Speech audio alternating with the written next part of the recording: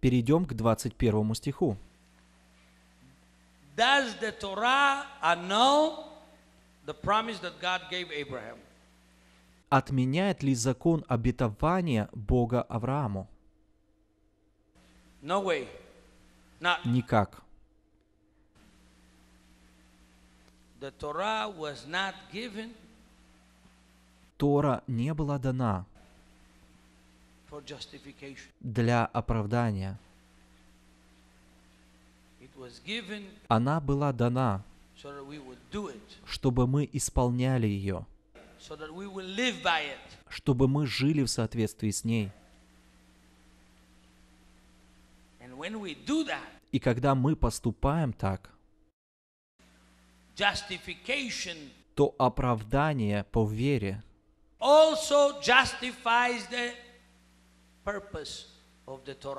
также оправдывает цель Торы.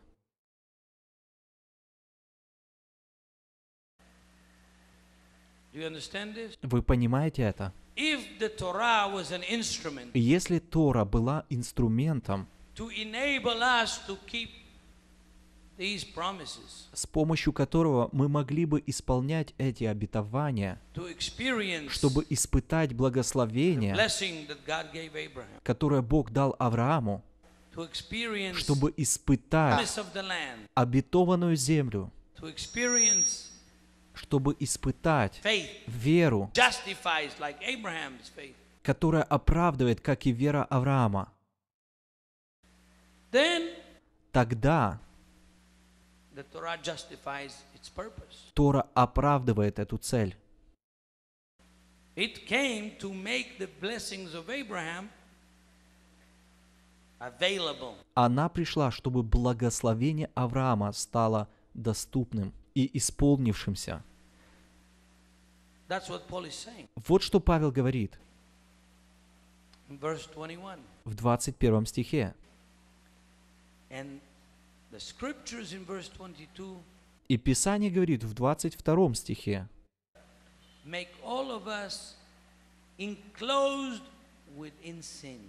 «Все мы заключены под грехом,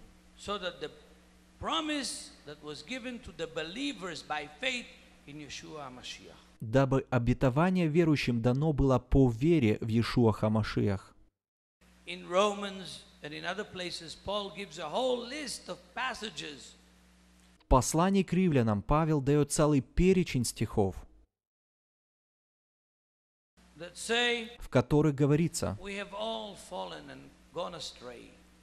«Все мы пали и заблудились». There is no righteous in the earth that will do good нет ни одного праведника на земле, который бы делал добро и не грешил. На иврите нет ни одного праведника на земле, который бы делал добро и не грешил. Вы примерные студенты. Проверьте, что раввины говорят об этом стихе. And compare it to Paul и сравните со словами Павла. Тора, пророки и псалмы повторяют эти слова снова и снова. Но никто, не даже цадик, праведник, не может творить добрые дела, не согрешив. Даже если он намерен делать добро, there is a fly in his cup of tea. в его кафтане есть муха. Вот что говорят раввины. И Павел также это говорил. Verse 23 Стих 23. is this picture here. Это, эта картинка здесь. И до пришествия веры мы заключены были под стражу закона. Какое слово используется здесь на португальском?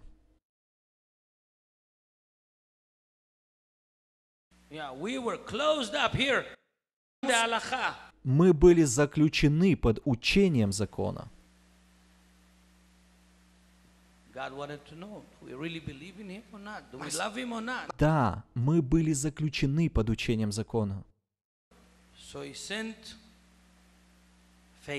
Бог хочет знать, на самом ли деле мы верим в Него или нет, любим ли мы Его или нет. Поэтому Он послал веру, чтобы мы закончили это учебное заведение и показали нашу любовь. Now, in verse 24 comes the whole section of the Paidagogos. В 24 стихе целая секция «Педагогус». And the Christians say, oh, you see, the Torah was our elementary school. И христиане говорят, о, видите, Тара была нашей первоначальной школой, Now we are in the university, а сейчас мы в университете, и нам больше не нужна начальная школа. Вы глупцы. Если вы в университете,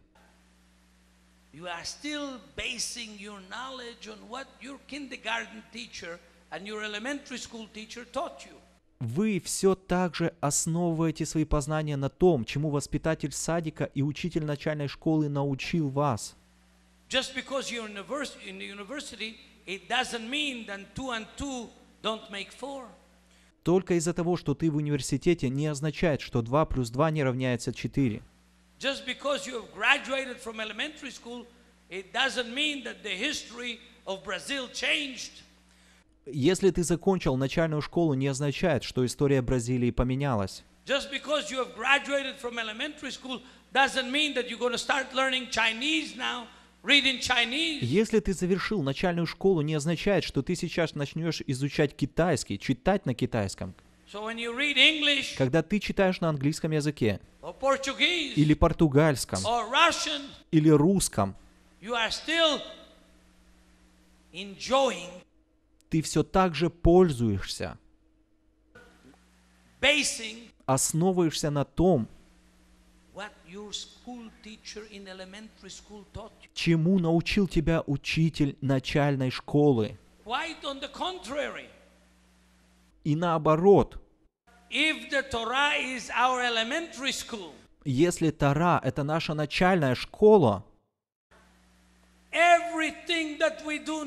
то все, что мы делаем сейчас по вере, основано на том, on what we learned in elementary school. Что мы изучали в начальной школе.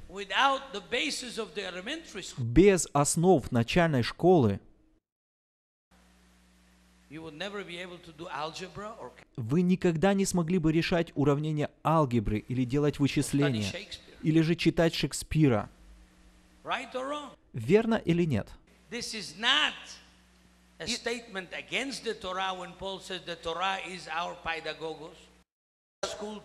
Это заявление не против Торы, когда Павел сказал, что Тора наш педагог, где-то водитель, наш школьный учитель.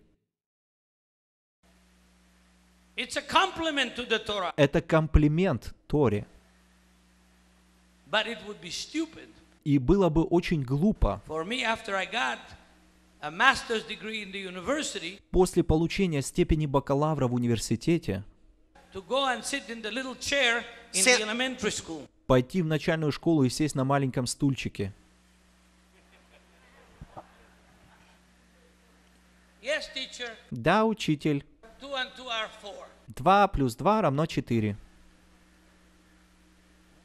It would be infantile, Это было бы инфантильно.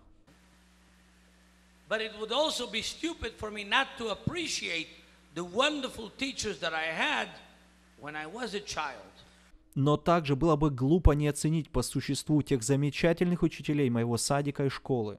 Right? Верно? Вот что говорит Павел. Он не против Торы, он за Тору.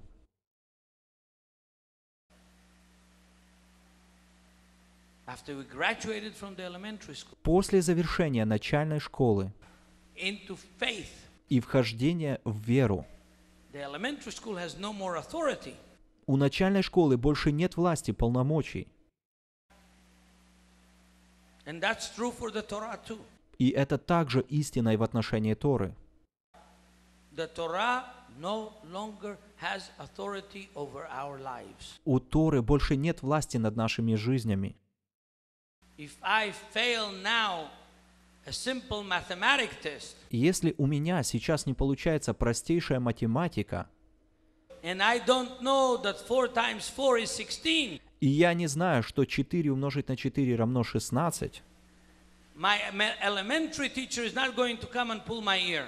то мой учитель начальной школы не придет и не будет тянуть меня за уши. Это будет моя проблема. Это будет проблема моего босса, который взял меня на работу. Right? Верно? Мы должны это знать, что мы находимся под Новым Заветом, другим Заветом. Мы не находимся под властью Торы. И если бы мы были под властью Торы, то мы бы попали в огромную проблему, Because nobody is keeping потому что никто не может перепрыгнуть Тору. Ни ультраортодоксальный еврей, ни либеральный еврей, ни консервативный, ни мессианский еврей. Никто не исполняет Тору. Это оптическая иллюзия. Оптическая иллюзия.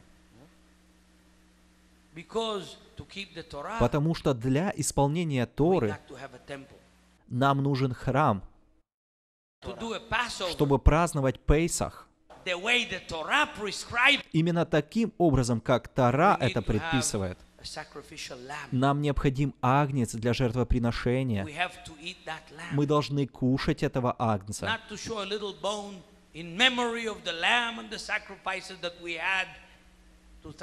Не показывать маленькую косточку в память жертв агнца, который был у нас 2000 лет назад.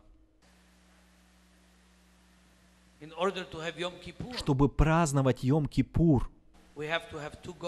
нам нужно два козла. Один для жертвоприношения в храме, а второй в качестве козла отпущения, которого отпускали в пустыню. Если бы мы жили в соответствии с Торой, то нам нужны священники. None, not one of the commandments of the Torah Ни одну из заповедей Торы is independently нельзя независимо, индивидуально выполнить. Oh, yes, modern Judaism. О да, современный иудаизм. The rabbis Раввины had to devise a system должны были изобрести такую систему, in order to live, чтобы жить, to survive in the Galut. Чтобы выжить в Галуте. So they did with the Torah Поэтому они сделали с Торой то, what the Catholic G- Church did with Jesus. что католическая церковь сделала с Иисусом. They spiritualized it all. Они все это одухотворили. So instead of having sacrifices on the Shabbat, Поэтому вместо принесения жертвоприношения на шаббат we put salt on two мы солим два кусочка хлеба, две халы.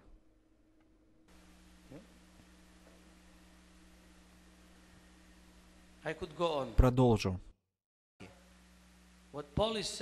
Павел говорит очень просто.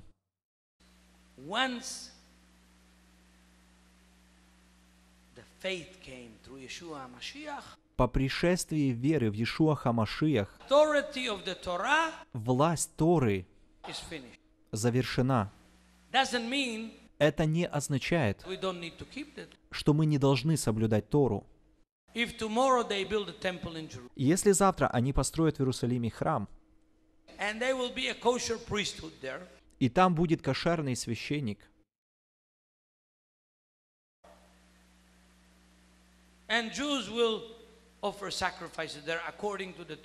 и евреи принесут жертвы в соответствии с Торой, I will also go there and offer a sacrifice of thanksgiving for what Yeshua did for me. то я тоже пойду туда и принесу жертву благодарности за то, что Ишуа сделал для меня. У меня не будет никаких проблем с этим. Петр делал это. Павел делал это, и я тоже могу. Но его не существует. Сейчас все, что у нас есть. Это совершенный Иешуа Хамашиах, совершенная жертва, совершенное искупление, совершенный вечный праздник. Он умер за наши преступления. Вот что Павел говорит. И заметьте, что он говорил это, когда храм еще не был разрушен. Verse 26 is a little bit complex 26 стих немного сложноват,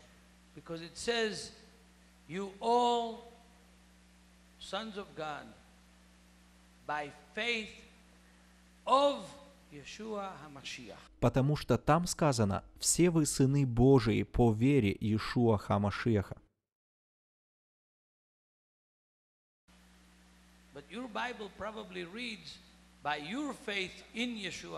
Но, вероятно, в вашей Библии написано «По вашей вере в Иешуа Хамашиах».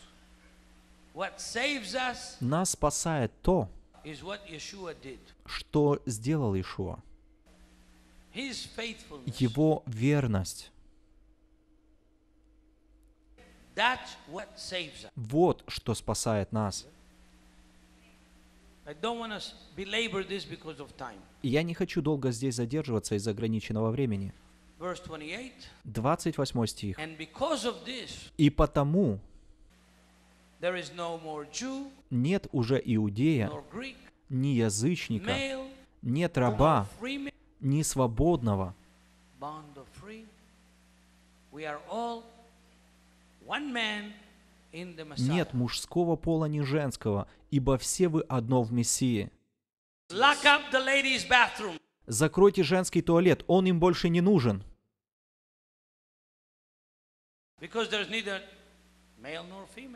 потому что уже нет ни мужского, ни женского пола. Верно?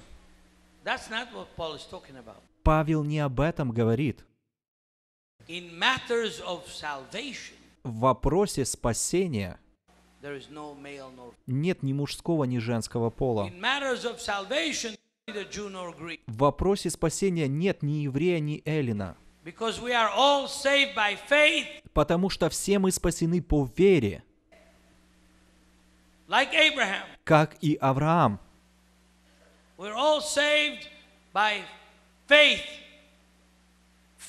Like every other hero of our biblical history.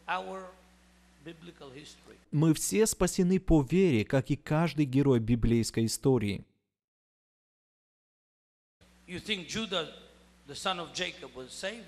Как вы думаете, Иуда, сын Иакова, был спасен? Как вы думаете? Послушайте, он пошел к проституткам. He wanted to kill his brother. Он хотел убить своего брата.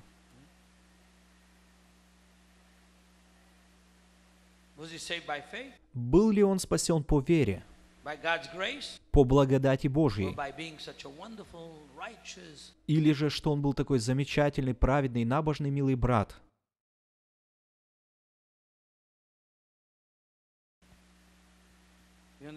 Понимаете, что я имею в виду? Каждый согрешил, о ком есть упоминание в Библии. Соломон, мудрейший из всех людей. У него было тысяча женщин, и некоторые из которых были язычницами.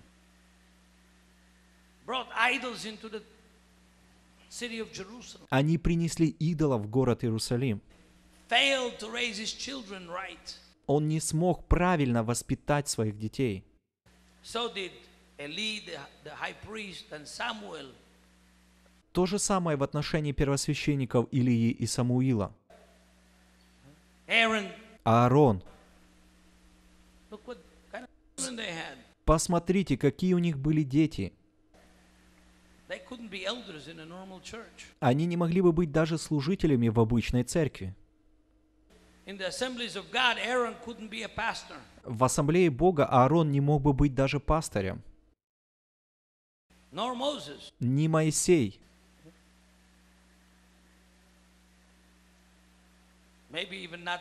может даже и не Павел.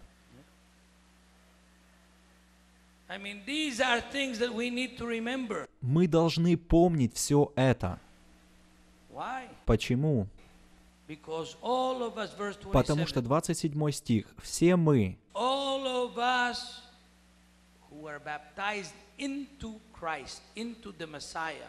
все мы крестились в Христа, в Мессию.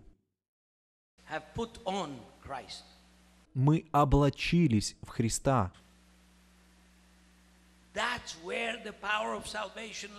Вот где находится сила спасения.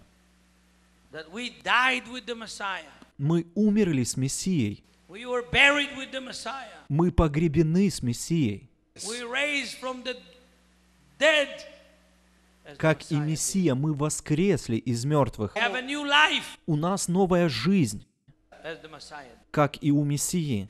We put on character, the nature, and the spirit of the Messiah. Мы приняли характер, природу и дух Мессии.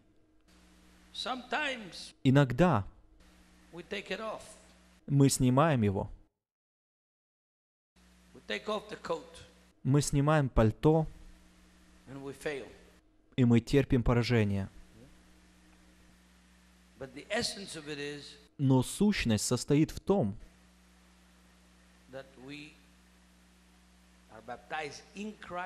что мы были крещены в Христа, и мы приняли природу Христа, и мы принадлежим Христу. И для вас, мессианских евреев в Америке, я специально говорю Христос,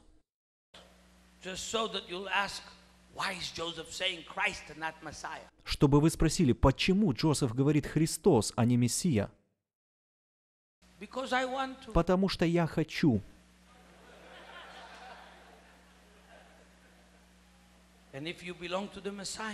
И если вы принадлежите Мессии, вы из семени Авраама, и вы наследуете обетование Авраама.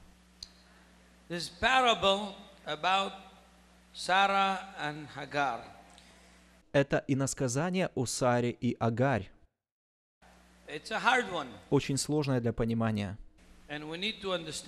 И мы все-таки должны это понять. Я хочу полностью прочесть этот отрывок, and uh, from verse 21 начиная с 21 стиха to the end of the chapter.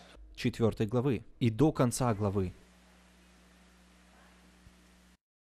Go ahead. «Скажите мне вы, желающие быть под законом, разве вы не слушаете закона? Ибо написано, Авраам имел двух сынов, одного от рабы, а другого от свободной. Но который от рабы, тот рожден по плоти, а который от свободной, тот по обетованию. В этом есть иносказание. Это два завета. Один от горы Синайской, рождающий в рабство, который есть Агарь, ибо Агарь означает гору Синай в Аравии и соответствует нынешнему Иерусалиму, потому что он с детьми своими в рабстве, а высший Иерусалим свободен.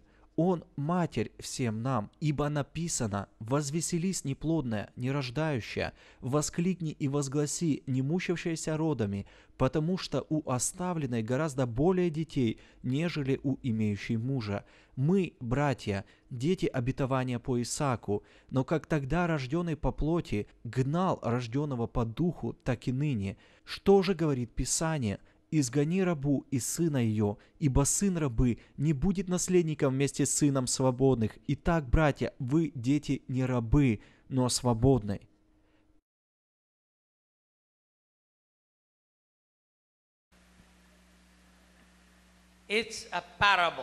Это иносказание, это не аллегория.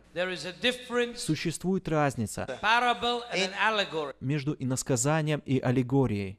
В аллегории is where every element in the allegory has a counterpart in reality. каждый элемент обладает двойником в реальности.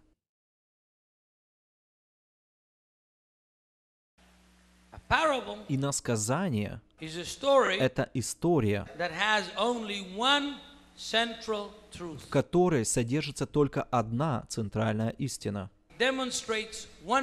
Она демонстрирует одну истину.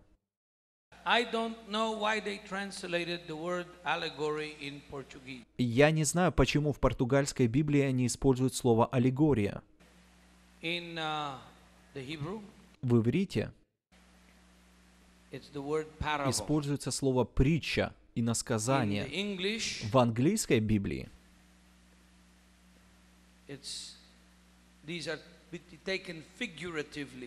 это можно понимать образно в 24 стихе.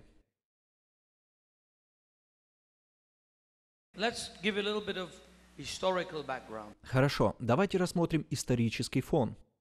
What was the situation in Jerusalem in the time that Paul wrote? Какова была историческая ситуация написания Павлом этой книги в Иерусалиме? Римляне оккупировали Иерусалим. Коррумпированное правительство, коррумпированная религиозная система. Под руководством коррумпированного священника.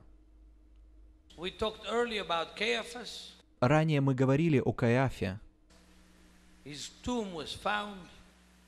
Была найдена его могила. Его кости были найдены. Был найден его череп.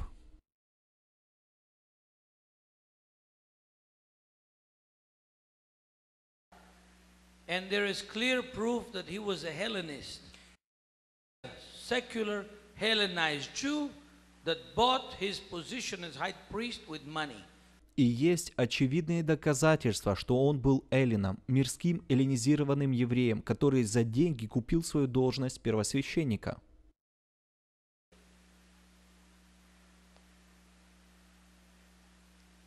The conditions of the city were bad. Состояние города было плохим, проходила борьба внутри общественности города.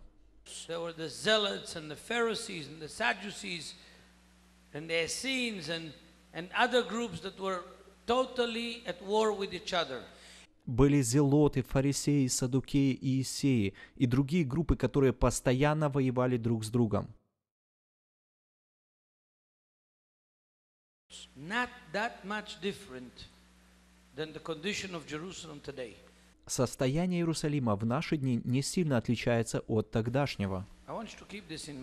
Держите это в своем уме. А теперь давайте возвратимся к истории. Сколько детей было у Авраама?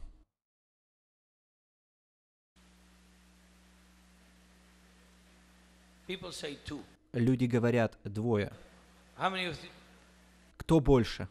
are a lot of people think that there is two, but many think that there is Многие думают, что у него было два сына. Но есть некоторые, которые придерживаются, что у него было больше детей. У него было больше детей. По крайней мере, шесть сыновей. Кто из вас знает их имена? Кто из вас знает, где можно узнать их имена? Some see people say in Genesis, Некоторые люди говорят, что в книге Бытие, некоторые говорят в книге Паралипоменон. Они перечислены в книге Бытие и в книге Паралипоменон. Сейчас, why don't we know the names of Meidan and Moran and Haran and all these children of Abraham? почему мы не знаем имена Зимран, Медан, Мадиан Имена всех этих детей Авраама. Это не так важно. Они были физическими детьми Авраама. Но они не были детьми обетования.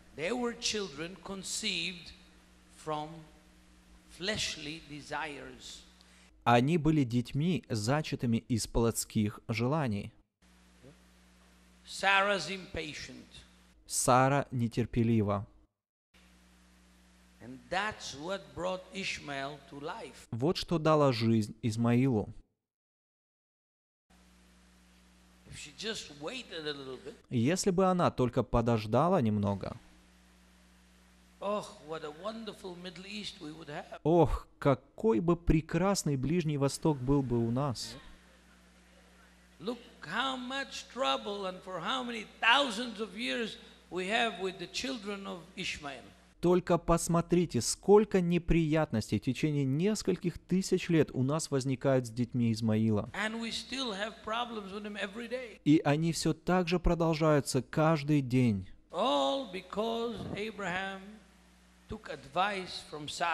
И все из-за того, что Авраам послушал совет Сары. And because Sarah didn't have patience. Потому что Сара не была терпелива. Мы знаем Измаила и знаем Исаака. И тот, и другой физические дети Авраама. Поэтому мы читаем и children. У Авраама было двое детей. Один от служанки Агарь и другой от свободной женщины Сары.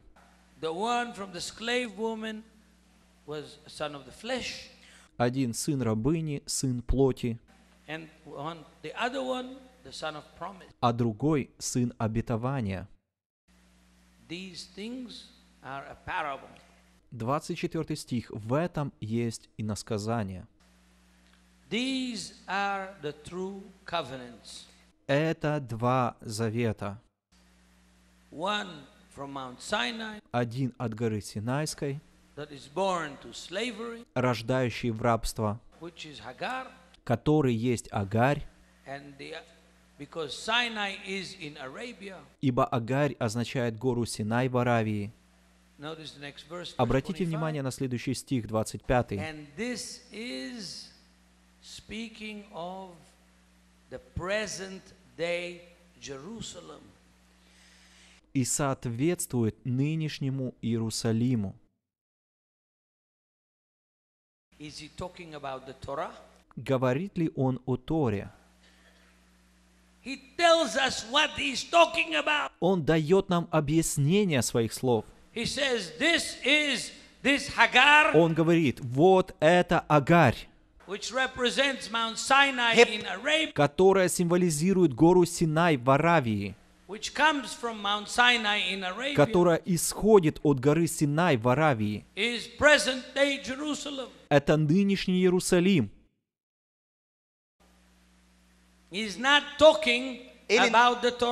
Он не говорит о Торе.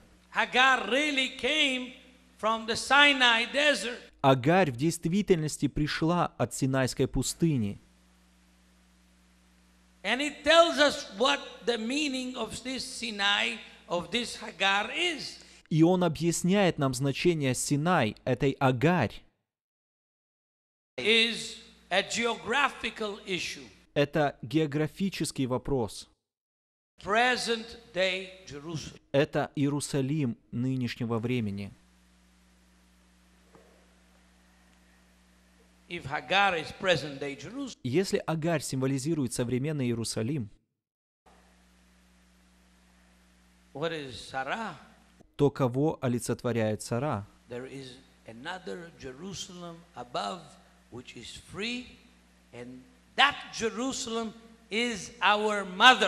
Вышний Иерусалим свободен, и этот Иерусалим – Матерь всем нам. Is he talking about the Torah? Говорит ли он о Торе? No. Нет. he says himself that he's talking about Jerusalem. Он сам сказал, что говорит об Иерусалиме. And where is he getting this picture that Jerusalem of above is our mother? А откуда он взял, что Вышний Иерусалим – наша мать? Who knows? Кто знает? Он цитирует другой отрывок.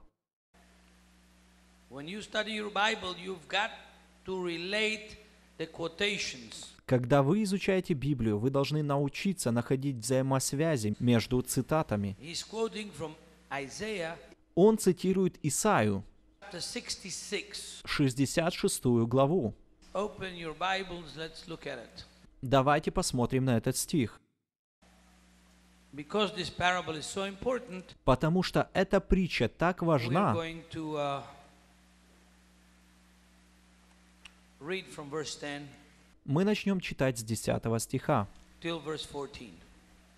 и по 14 стих. Isaiah 66. Исайя 66, 10, 14. «Возвеселитесь с Иерусалимом и радуйтесь о нем, все любящие его. Возрадуйтесь с ним радостью, все сетовавшие о нем, чтобы вам питаться и насыщаться от сосов утешения его, упиваться и наслаждаться преизбытком славы его.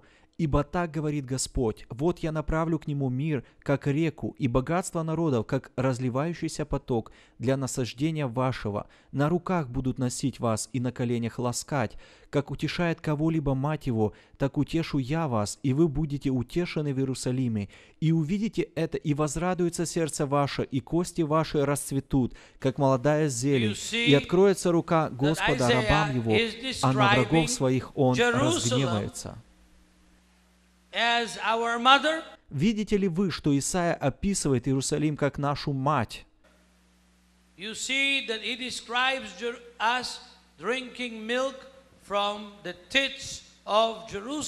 Видите, что мы питаемся молоком Иерусалима?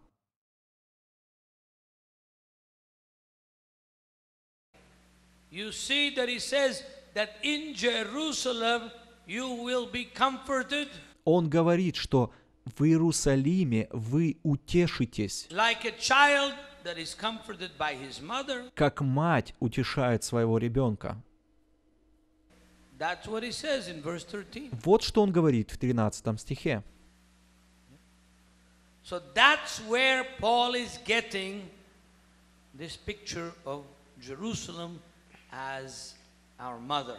Вот откуда Павел берет эту картину Иерусалима как нашей матери. Два Иерусалима. Иерусалим нынешний, который в рабстве, римской оккупации, он не свободен. И есть Иерусалим, который был обещан Богом, как Исаак, который был сыном обетования. И этот Иерусалим представляет ценность для нас. Не современный Иерусалим, который находится в рабстве, Not the present day Jerusalem where Muslim terrorists blows themselves up almost every week. не современный Иерусалим, где мусульманские террористы подрывают себя почти каждую неделю. Not the Jerusalem where our prime minister is suspected of embezzling millions with his sons. Не Иерусалим, где нашего премьер-министра и его сыновей подозревают в растрачивании чужих миллионов.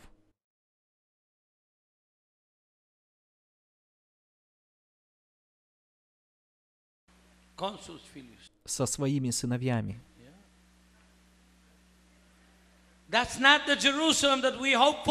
Не такой Иерусалим мы ожидаем.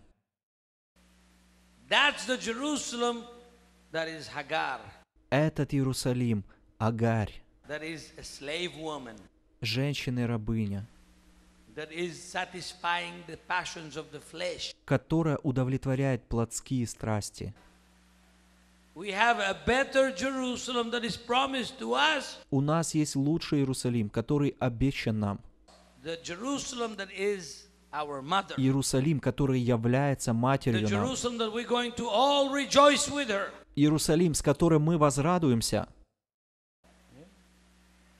That's what this parable is about. Вот о чем это иносказание. But tr- Christian tradition has it. Но в христианской традиции They read Mount Sinai, гора Синай,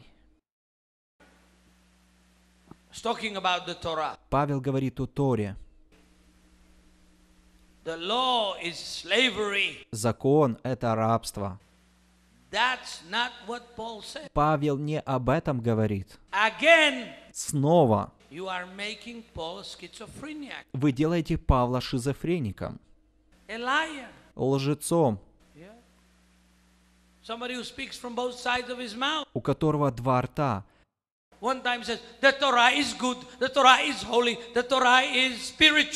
Один раз он говорит «Тара добра, Тара свята, Тара духовна», а потом «Тора ужасна». «Тора — это рабство». Может ли такое быть? Тот же человек, тот же апостол, он говорит из двух уст. Один раз он говорит «Тора добрая»,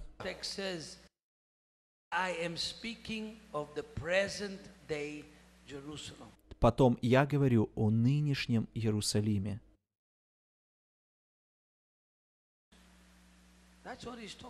Вот о чем он говорит. And if you notice carefully, И если вы обратите пристальное внимание, when we read Isaiah 66, когда мы прочитали Исайя 66, the Gentiles were included in the picture. язычники также были включены в эту картину. Go read again Isaiah 60, Снова перечитайте 66 главу Исаии, verses 12, стих 12, 13. 13. Right or wrong? Верно или нет? And in the end of Isaiah И 66, в конце 66 главы Исаии there will be people from the Gentiles who will serve as priests in the temple in that heavenly Jerusalem that the apostle is speaking about and that Isaiah the prophet is speaking of. Из язычников будут народы, которые будут служить священниками в храме в этом небесном Иерусалиме, о котором говорит апостол Павел и пророк Исаия. Вот о чем говорит Павел. He's saying, don't put your trust in this present day Jerusalem that is enslaved under Roman occupation with a corrupt Jewish government.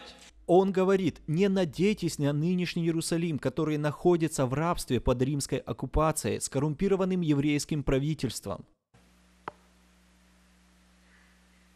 He's not talking ab- against the Torah. Павел не говорит против Торы, он говорит о географии, земной географии в сравнении с небесным Иерусалимом. And then in verse chapter 5 verse 1 Затем в пятой главе первом стихе it says therefore stay in that freedom that has liberated us the Messiah and don't return to slavery. он говорит, «Итак, стойте в свободе, которую даровал вам Мессия, и не подвергайтесь опять игу рабства». Is he talking to Jews? Обращается ли он к евреям? Did you forget to look at the pronoun? Вы снова забыли обратить внимание на местоимение. Don't forget. Не забывайте. Помните, я сказал вам, что местоимения очень важны. Обращайте внимание, к кому Павел обращается. Стойте в свободе?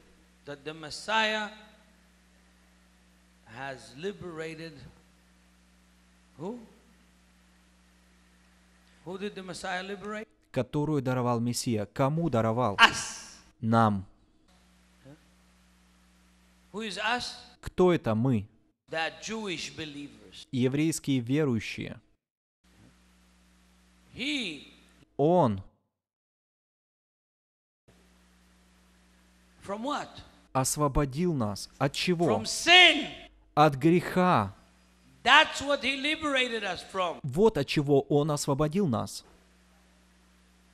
It doesn't say he liberated you from the Torah so that you could go do whatever you want to now. Там не сказано, Он освободил вас от Торы, чтобы вы могли делать сейчас все, что захотим. Can Теперь вы можете кушать свинину. И теперь законы питания не представляют никакого смысла для вас. where does it say in the New Testament that you don't, that you're not allowed to commit incest? Maybe you can commit incest too. Где в Новом Завете сказано, что вам нельзя совершать кровосмешание, а может все-таки позволительно? Pork. Если вы можете есть свинину, вы можете совершать и кровосмешание. Shabbat, Если вы не должны отдыхать на шаббат, you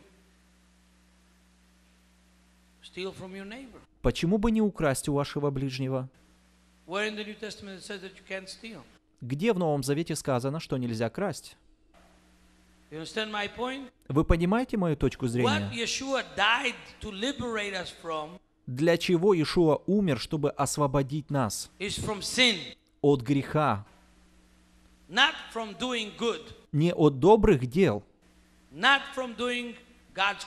не от исполнения заповедей Бога. Мы должны любить Иешуа. И если мы любим Его, то исполним Его заповеди. Он это сказал. Paul says in Ephesians chapter 2, verse 10, why we are saved. Павел Ефесянам 2.10 говорит, для чего мы спасены?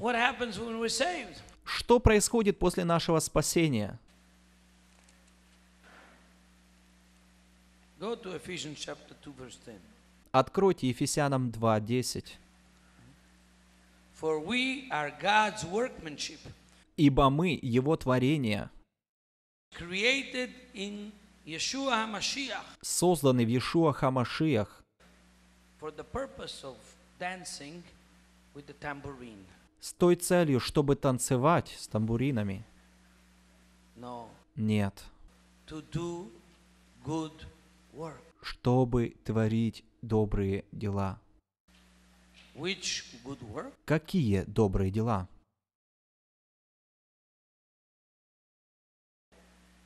To do the good works that God has prepared in advance for us to do. Чтобы творить добрые дела, которые Бог предназначил нам исполнять. Какие добрые дела Бог предназначил нам исполнять? Как давно приготовил? The only advance preparation that God made Yeshua was the Torah. Единственная подготовка, которую совершил Бог для Ишуа, это Тора. А до того Будды не существовало.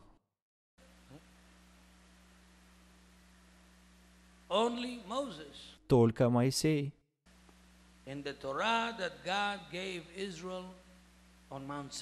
И Тора, которую Бог дал Моисею на горе Синай. Мы точно не знаем Шульхана Рух, не Яд Хазака или Маймонид. All we had was just the Torah. Все, что у нас было, это Тора. И он говорит, мы спаслись благодаря Ишуа Хамашиях, чтобы исполнять добрые дела. Эти добрые дела. Бог приготовил для нас заранее. Вот что Павел говорит. And that's also the meaning of Galatians. И это также значение послания Галатам. So God freed us, Поэтому Бог освободил нас, prepared for us a heavenly Jerusalem, подготовил к небесному Иерусалиму, delivered us from the curse of the law. освободил нас от проклятия закона. Those curses that were in the law were canceled Проклятия закона были отменены,